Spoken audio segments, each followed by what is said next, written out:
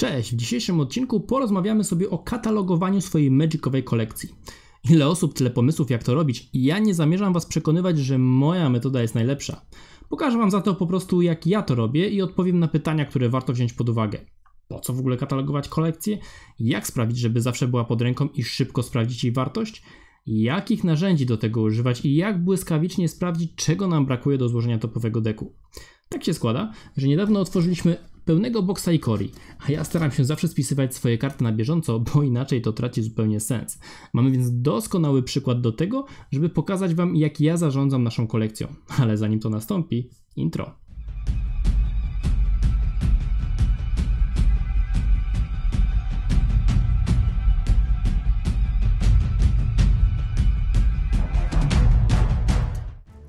Pamiętam, jak na początku swojej przygody z Magiciem znałem swoją kolekcję niemal na pamięć, a deki do standardu składałem w głowie. Teraz jest tego zwyczajnie za dużo, rozstrzelone po różnej maści pudłach, pudełkach, deckboxach i klaserach. Do tego dwa razy wyprzedawaliśmy większość naszych zbiorów, a w natłoku innych zadań i dodatkowej puli wirtualnych kart na arenie nie mam już najmniejszych szans, żeby pamiętać aktualny stan rzeczy. A głupio by było, kiedy okazałoby się, że kiedy już otworzą sklepy, na FNM zabraknie mi czwartego Witch Ovena, bo wydawało mi się, że gdzieś jest. Fajnie jest też obserwować orientacyjną wartość swojej kolekcji, bo kiedy przyjdzie nam ją sprzedać, będziemy mieli pod ręką plik, który możemy wykorzystać do rozliczenia się z potencjalnym kupcem. Łatwiej nam będzie wtedy oszacować, ile jesteśmy w stanie zejść z ceny, żeby się pozbyć kart.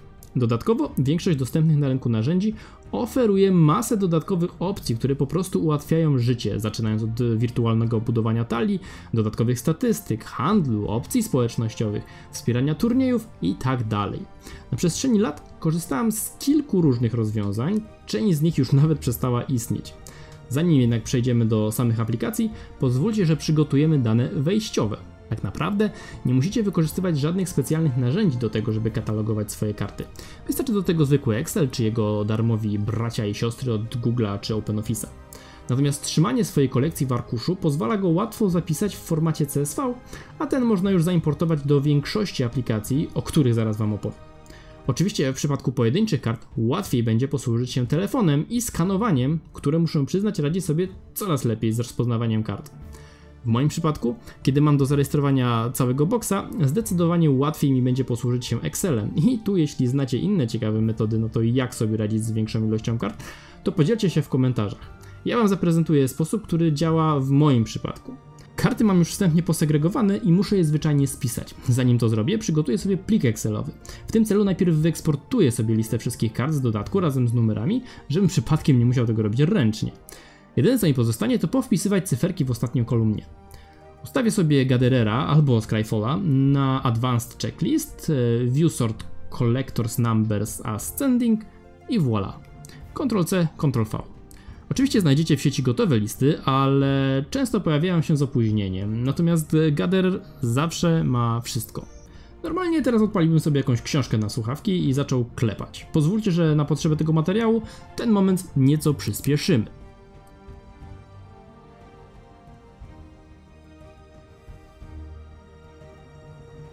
Plik mamy gotowy, pozostaje nam zapisać go w formacie CSV, natomiast pamiętajcie, że w zależności od tego, na którą aplikację się zdecydujecie, może być wymagany inny układ kolumn i będzie trzeba go odrobinę dostosować.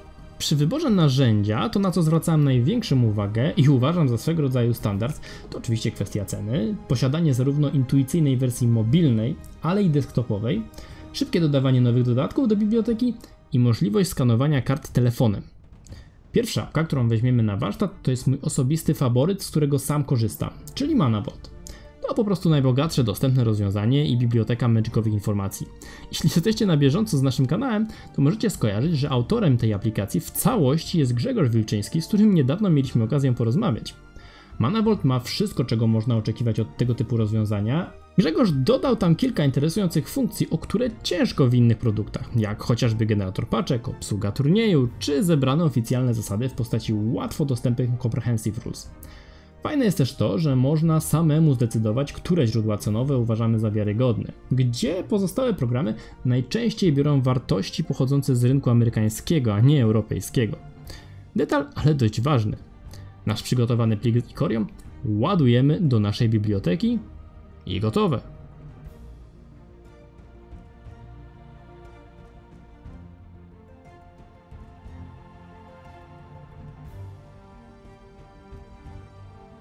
Tak przedstawia się nasza kolekcja. Możemy zerknąć na jej wartość, przefiltrować sobie tak jak potrzebujemy, możemy zbudować talię i od razu sprawdzić czego nam do niej brakuje. Wyeksportować do areny czy modo.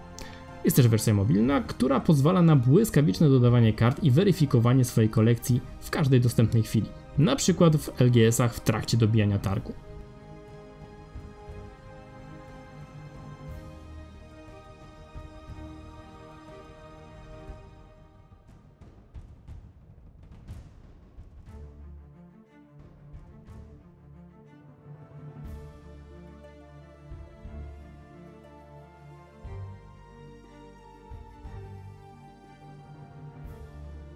Pośród wszelkiej maści aplikacji to jest mój osobisty faworyt. Szczególnie, że całość jest zupełnie za darmo, baza kart jest regularnie aktualizowana, a sam twórca jest zawsze gotowy na feedback. Drugie w kolejności narzędzie, z którego kiedyś korzystałem, to Card Castle. Kiedyś nazywało się to Osguild. Załadujmy naszą pulę i zobaczmy, co z tego wyjdzie.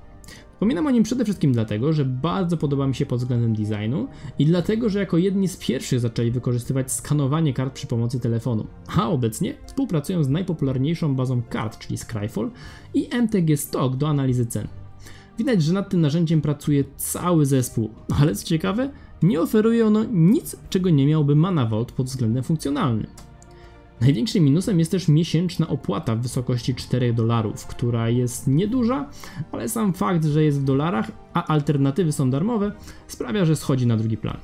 Można oczywiście korzystać z wersji darmowej, ale ograniczenia ilości kart sprawiają, że w moim przypadku jest bezużyteczna.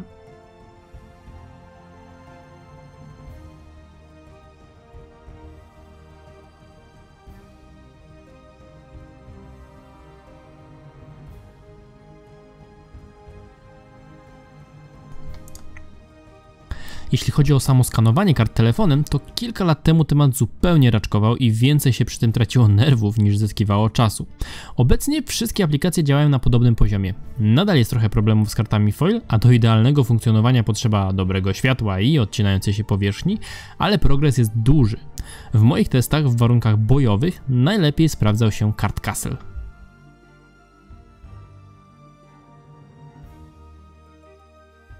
Fajne jest natomiast to, że zainwestowane pieniądze idą dalej na rozwój różnych magicowych rozwiązań. Sprawdźcie chociażby tego robota do automatycznego skanowania kart. Jeśli będzie taka możliwość, to będę sobie musiał go zorganizować.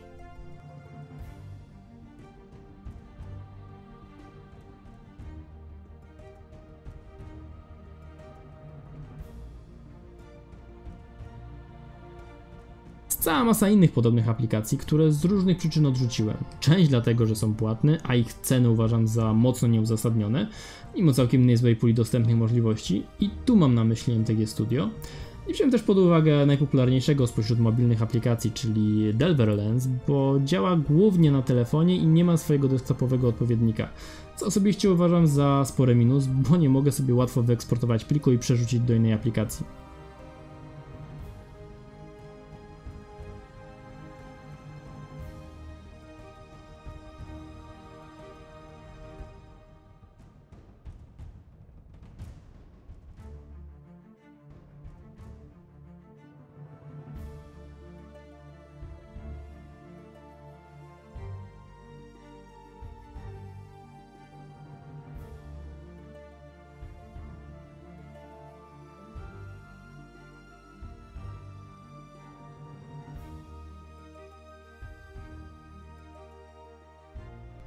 Odrzuciłem też aplikację od TCG Player, bo mimo, że działa całkiem sprawnie, to od góry do dołu jest opisana jako wersja beta, a wariant desktopowy ma bardzo wąskie zastosowanie. E, poza tym jest e, po prostu reklamówką sklepu.